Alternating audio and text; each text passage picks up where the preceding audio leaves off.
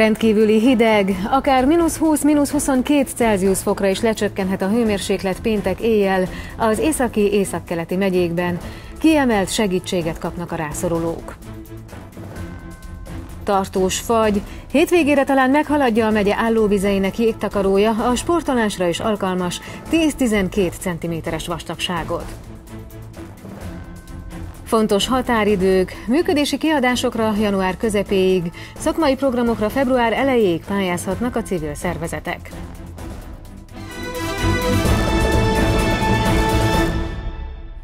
Akár mínusz 20, mínusz 22 Celsius fokra is lecsökkenhet a hőmérséklet péntek éjjel az északi északkeleti megyékben az Országos Meteorológiai Szolgálat előrejelzése szerint. A Kölcsei Televízió híradóját látják. Köszöntöm Önöket!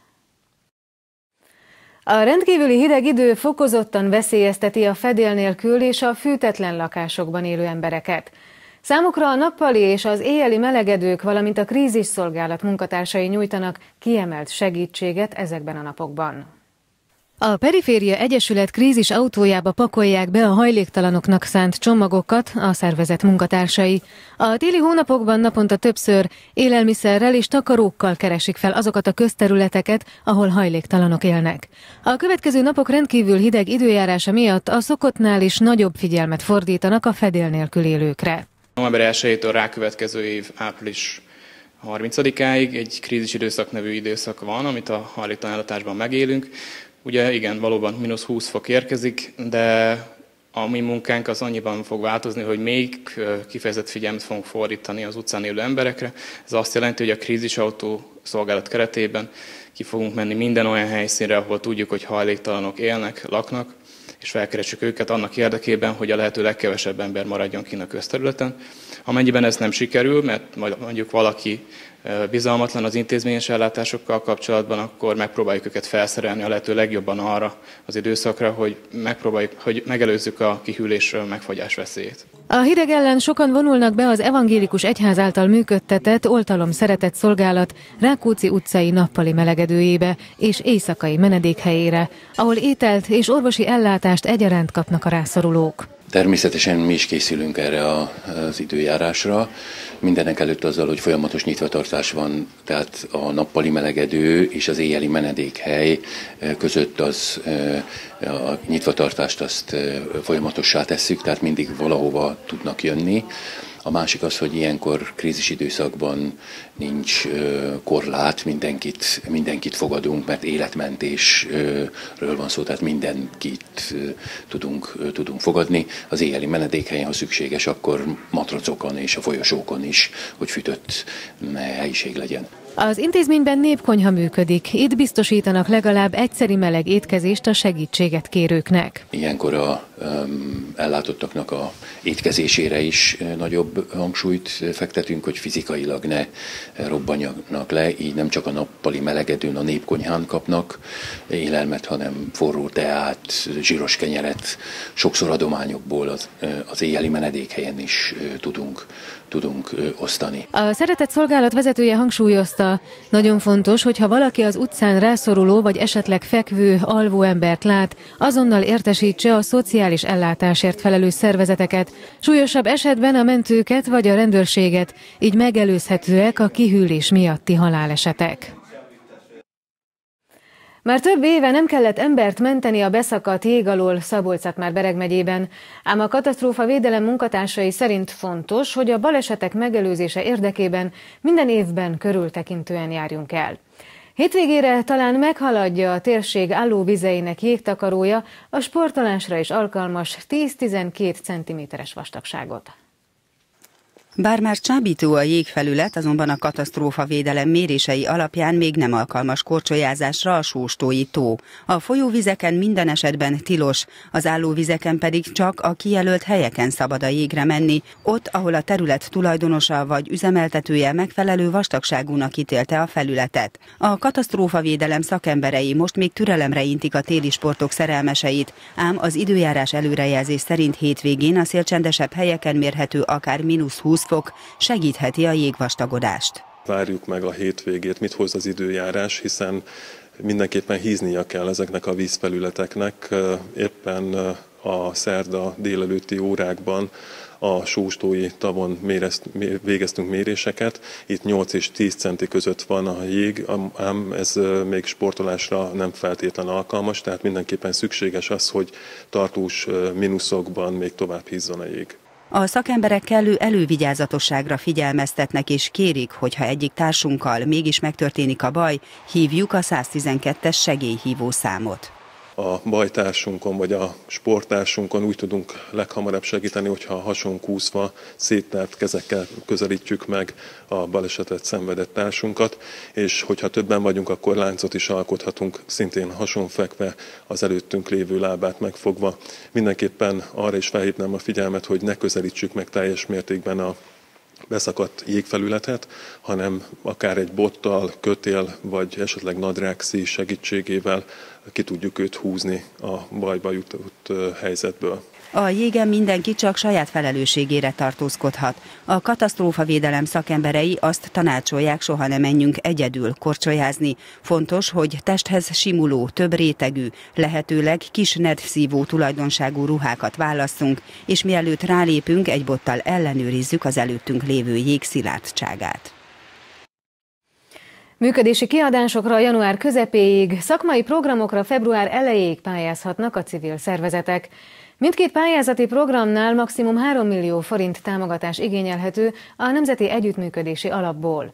Az alapítványok, egyesületek a már megkezdett programok folytatására is felhasználhatják az elnyert összeget. Hazánkban mintegy 60 ezer civil szervezet van bejegyezve, amelynek 60-70 százaléka aktív. Fogyatékos személyek nappali ellátásával foglalkozik ez a civil szervezet nyírteleken. A település környékén főként a fogyatékkal élőket segítő szolgáltatásokat biztosítja az Egyesület. A nappali intézménybe 40 fő jár, 8-an támogatott lakhatásban is részesülnek.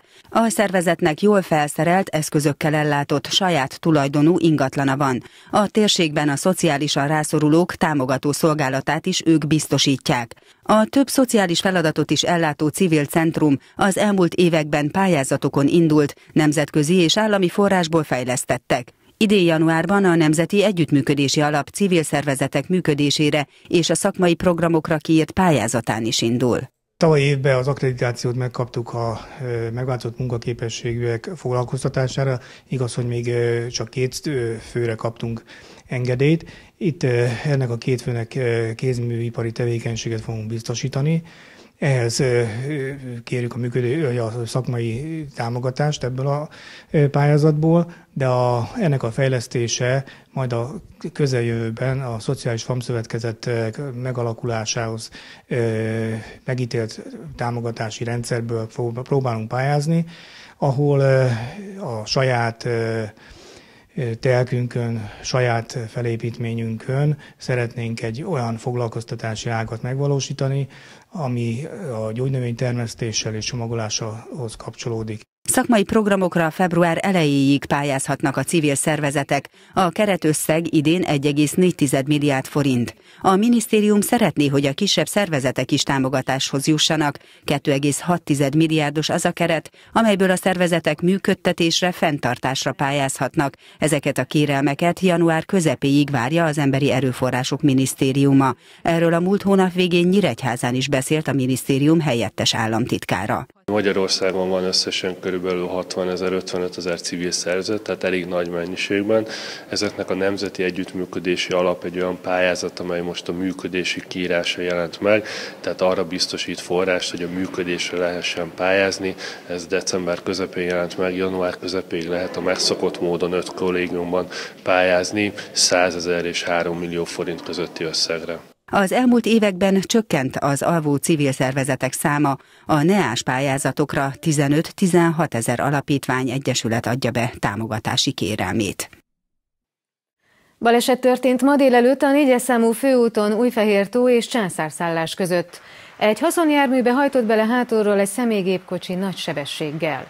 A balesetben a haszonjárműben utazó két személy sérült meg, akiket a mentők kórházba szállítottak.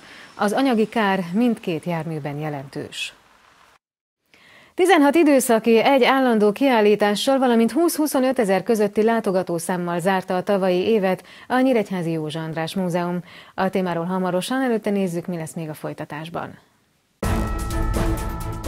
Az amatőr nemzeti bajnokság keleti csoportjának első helyén állva kezdi a 2017-es évet a Nyíregyházi Kosársuli. Farkasinszki Gyuláni együttese szombaton a Nemzeti Közszolgálati Egyetem csapatának otthonában lép pályára. Az NKS célja az alapszakaszbeli elsőség megszerzése. Csak februárban indul majd először versenyen Bakosi Péter. A Nyíregyházi magasugró már korábban teljesítette a belgrádi fedett pályás Európa bajnokság kiküldetési szintjét. A nyári versenyek közül a világbajnokság és az univerziádé jelenti a két fő célt az atléta számára.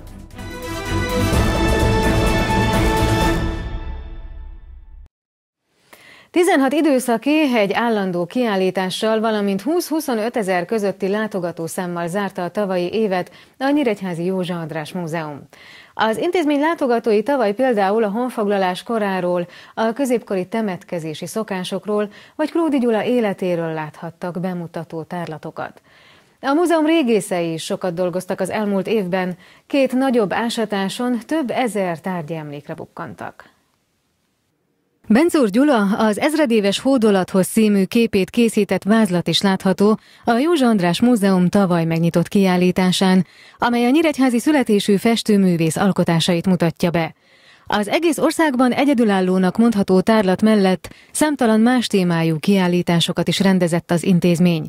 Ilyen volt a Vörös Sándor műveit és rajzait bemutató interaktív gyűjtemény, vagy azok a leletek, amelyek 17 és 18. századi temetkezési szokásokat mutatnak be. A különleges attrakció, amelyben különböző tárgyi temetkezési emlékeket, kriptákat és koporsókat is kiállítottak, nagyban hozzájárult a múzeum sikeres tavalyi évéhez. Ha csak a számokat nézzük, 16 időszaki keltást és egy állandó keltást a Klódi emlékére nyitottunk. 20 ezer, 25 ezer több látogatónk volt, és hát olyan keltások voltak, amelyek miattán felkeltették a közönség igényeit, hiszen Árpád népe, Gyula népe, a honfoglalókról szólt ez a táratunk, vagy amit december 1-én Józsandás Múzeum napjára nyitottunk a kriptoletek, hiszen ilyet, ilyet Magyarországon még senki nem, nem csinált, hogy egykori temetkezésekből előkerült tárgyakat mutat be a nagy közönségnek, de itt van a Vörös Sándor, kertesen nagyon interaktív, a gyerekek nagyon szeretik. Szóval lényeg a lényeg, hogy, hogy szép tárlatokat nyitottunk meg, a látogatók száma a tavalyi évet, tehát a tavaly előtt évet meghaladta. Bene János hozzátette, 2017-ben két fontos eseményre készül a múzeum. Ezek egyike lesz a kiegyezés 150. évfordulója. A kiegyezés által megvalósult szabadabb légkörben alakultak meg a, az akkori egyesületek, szervezetek, többek között 1868-ban a Józsandás Múzeum. Tehát ilyen szempontból is fontos számunkra ez. A másik ugye ősszel a reformáció hiszen ez a város utános város, utános Róma is lehetne tulajdonképpen, és nekünk nyilván a múzeumnak fel kell készülni arra, hogy az összes fordulót méltóképpen ünnepeljük meg. Tavaly két nagyobb ásatáson dolgoztak a múzeum régészei. Az egyiken a Debreceni Déri Múzeummal közösen végeztek feltárásokat a tovább épülő M35-ös autópálya nyomvonalán, a másik pedig a Nyíregyházi Ipari Parkban épülő logisztikai bázis építkezését érintette. Leletanyagát tekintve nyilván a nagyobb területen nagyobb találat van, tehát ott több mindent találtunk, de ennek ellenére az említett ipari parkos ásatás is szép eredményeket szolgáltat, hiszen néhány szkítakorból származó temetkezés, illetőleg ugyanebből a korszakból származó település maradvány is napvilágot látott. Jakab Attila elmondta, idén a kemecsei börtönberuházásnál és a Nyíregyházát nyugatról elkerülő főút továbbépítésénél végeznek majd régészeti feltáró munkát a múzeum szakemberei.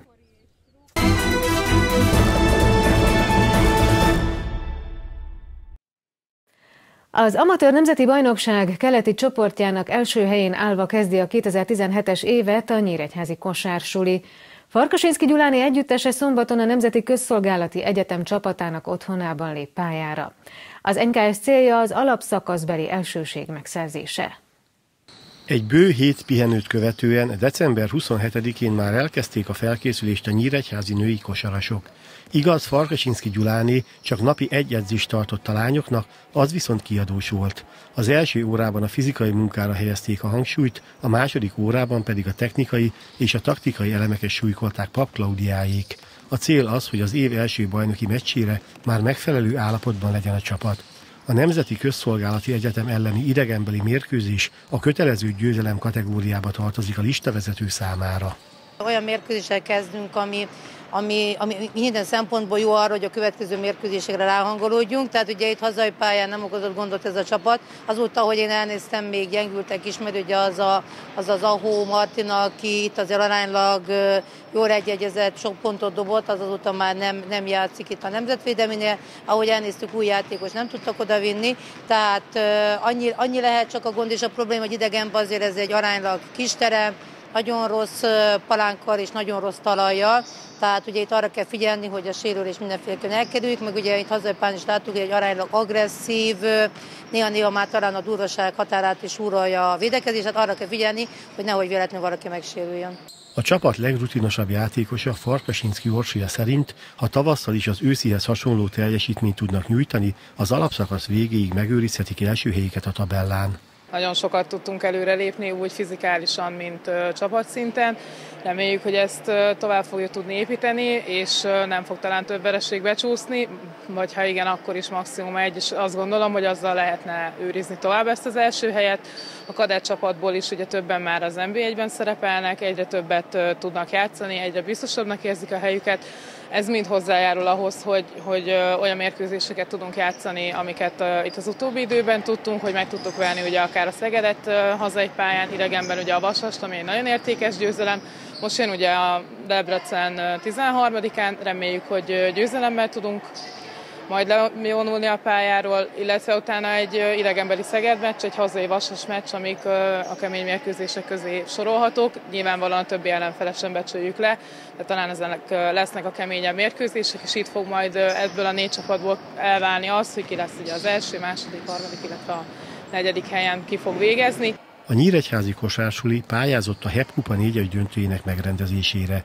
Bár a szövetség a jövő hét elején dönt a helyszínről, a hírek szerint az NKS-nek jó esélye van arra, hogy a Szent Imre gimnázium csarnokában fogadja az Eltebe Buda, a TFS-e és a Baja csapatát. Csak februárban indul majd először versenyen Bakosi Péter. A Nyíregyházi magasugró már korábban teljesítette a belgrádi fedett pályás Európa-bajnokság kiküldetési szintjét. A nyári versenyek közül a világbajnokság és az Universiade jelenti a két fő célt az atléta számára. Az elmúlt években, január elején már a fedett pályás versenyekre hangolt Bakusi Péter, aki ezúttal még csak könnyű edzéseket végez a Nyíregyházi Egyetem csarnokában. A magasugró már jó ideje készül, azonban különböző okok miatt némileg el van maradva a tervezett formától. Az elmúlt hetekben teremgondok miatt csak Miskolcon volt lehetősége technikai munkát végezni, plusz az egyetemi vizsgaidőszak is jelentős energiát vett el a 23 éves atlétától. Jelenleg mentálisan eléggé fáradt vagyok, mi a vizsgaidőszakon van, és ugye elég sokat tanulok esténként, és nem sok időm van aludni, de remélem hamar le fogom ezt tudni, és utána arra fogok koncentrálni, hogy a lehető legjobban sikerüljön majd a fedett pályászezonom. Edzésben kicsit le vagyok maradva, voltak problémáim, ugye műtötték a fogamat, akkor betegség miatt oda el vagyok csúszva, de remélem, hogy februárban el fogom tudni kezdeni a versenyzést. A cél az mindig az, hogy a lehető legjobbat ugorjam. A fedett pályás Európa bajnokság, ami Belgrádban lesz, ott szeretnék jól szerepelni, bár egy picit csúszásban vagyok, de szerintem ez nem fog problémát okozni nekem.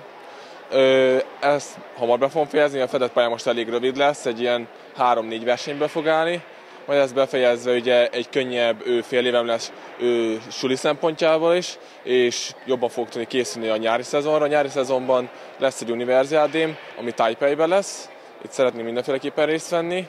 Lesz még egy felnőtt világbajnokság, ahol 2.30 a szint, hát oda is szeretnék kijutni, ez Londonban lesz, hát az meg kiderül, hogy hogy fog sikerülni. Emellett még lesz még egy ő, csapat Európa bajnokságunk, ami Tel Avivban lesz. Bakosi Béla edző szerint a világbajnokságra megállapított kvalifikációs szint rendkívül magas. Péternek 4 cm-t kellene javítani egyéni legjobbján ahhoz, hogy ott lehessen Londonban. 230 cm az a, az eredmény, amivel a világbajnokságra ki lehet jutni, Én azt gondolom, hogy ez nagyon magas. Aki ezt ott megismétli, az, az minimum 8-ba kerül, de azt gondolom lehet, hogy az 1-6-ba is végezhet. Ettől függetlenül én remélem, hogy Petivel tudunk úgy készülni tavasszal, miután az egyetemi vizsgáit sokkal kevesebb tantárgyat fog fölvenni, tehát nagyobb hangsúly lesz a felkészülésre. Gondolom, hogy meg fogja tudni közelíteni ezt a szintet, vagy esetleg elérni. Az univerziádi, az ugye az egyetemi főiskolás világbajnokságra ott nincs megalapítva szint. Igazából egy, egy csapat fog kiutazni, egy ilyen szerintem 8-10 fős atléta csapat, amiben azt gondolom, hogy Petinek bele kell tudni férni, és ott, hogyha tudna olyan 225 körül eredményt ugrani, akár döntőbe is kerülhet. Ha minden a tervek szerint alakul, a fedett pályás szezont követően Bakisi Péter elutazik Németországba, hogy a lehető legjobban fel tudjon készülni a nyári versenyekre. A második fordulót is sikerrel vette, így bejutott a legjobb nyolc közé az ausztráliai Happy Valley-ben rendezett tornán Fucsovics Márton. A világranglista 158. helyén álló nyíregyházi teniszező a rangsorban 179. fehér orosz Ilya ellen nyert 6-3-6-3-ra. Fucsovics a legjobb négy közé jutásért a belga Horis de Lor ellen lép pályára a 75 ezer dollár összdíjazású tornán. Híradónk végén nézzük a legfontosabb híreket még egyszer néhány mondatban. Akár mínusz 20, mínusz 22 Celsius fokra is lecsökkenhet a hőmérséklet péntek éjjel az északi északkeleti megyékben az Országos Meteorológiai Szolgálat előrejelzése szerint. A rendkívüli hideg idő fokozottan veszélyezteti a fedél nélkül és a fűtetlen lakásokban élő embereket. Számukra a nappali és az éjjeli melegedők, valamint a krízisszolgálat munkatársai nyújtanak kiemelt segítséget ezekben a napokban. Már több éve nem kellett embert menteni a beszakadt jég alól szabolcs bereg megyében, ám a katasztrófa védelem munkatársai szerint fontos, hogy a balesetek megelőzése érdekében minden évben körültekintően járjunk el. Hétvégére talán meghaladja a térség állóvizeinek jégtakarója a sportolásra is alkalmas 10-12 cm-es vastagságot. Működési kiadásokra január közepéig, szakmai programokra február elejéig pályázhatnak a civil szervezetek. Mindkét pályázati programnál maximum 3 millió forint támogatás igényelhető a Nemzeti Együttműködési Alapból. Az alapítványok, egyesületek a már megkezdett programok folytatására is felhasználhatják az elnyert összeget.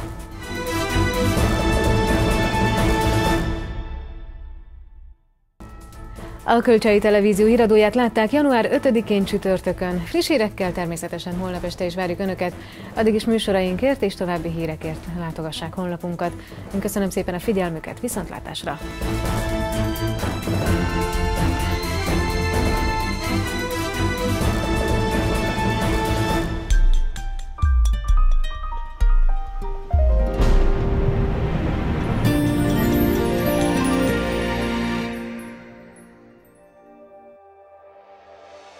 Holnap napos időre számíthatunk. Péntek estig egy ciklon hátoldalán több fokkal hidegebb, egyre szárazabb levegő érkezik térségünk fölé. Az igen hideg éjszakát fagyos nappal követi. Az éjjel eleinte felhőátvonulások várhatók, majd gyengén felhős idő valószínű, hózápor néhol előfordulhat. Az északi szél megélénkül, időnként megerősödik, reggelre általában mínusz 13 fokig csökken a hőmérséklet. Holnap napközben időnként megnövekszik a felhőzet, de általában több órás napsütés várható, csapadék nem valószínű. Az északi szél sokfelé megerősödik, főleg a körzet keleti területein helyenként viharossá fokozódik. Délutánra mínusz 10 fokig emelkedik a hőmérséklet, hideg fronti hatás van térségünkben. A következő napokban általában több órás napsütésre van kilátás. Szombaton még sokfelé erős, időnként viharos lökések kísérik az északi, északkeleti szelet, majd a jövő hét elejére mindenütt mérséklődik a légmozgás. Igen hideg légtömeg árasztja el térségünket. Szombaton és vasárnap a hajnali órákra a hóval borított, szélvédett keleti, északkeleti területeken helyenként mínusz 20, mínusz 24 fokig is süllyedhet a hőmérséklet, és néhol még a kora délutáni órákban sem mérhetnek mínusz 10, mínusz 12 foknál magasabb értékeket. A jövő héten lassanként erősödik a nappali felmelegedés.